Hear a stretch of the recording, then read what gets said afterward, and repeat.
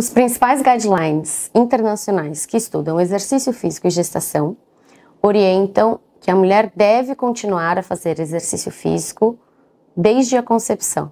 Ou seja, a mulher não precisa, não deve parar de fazer exercício físico no primeiro trimestre. Muito pelo contrário. O exercício físico deve ser incentivado, deve ser praticado desde o momento em que se descobre que está grávida, na verdade até antes, não é? é, é, exercício físico é importante em todo o ciclo da, da, da vida.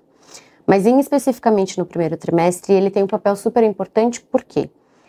Para cuidar da saúde, tanto da mãe, claro, mas também do feto. O exercício físico promove uma melhor saúde da placenta, que diretamente promove uma melhor saúde do feto. Portanto, existem poucos casos em que o exercício físico é contraindicado. Na grande maioria das vezes, a mulher deve continuar a ser ativa.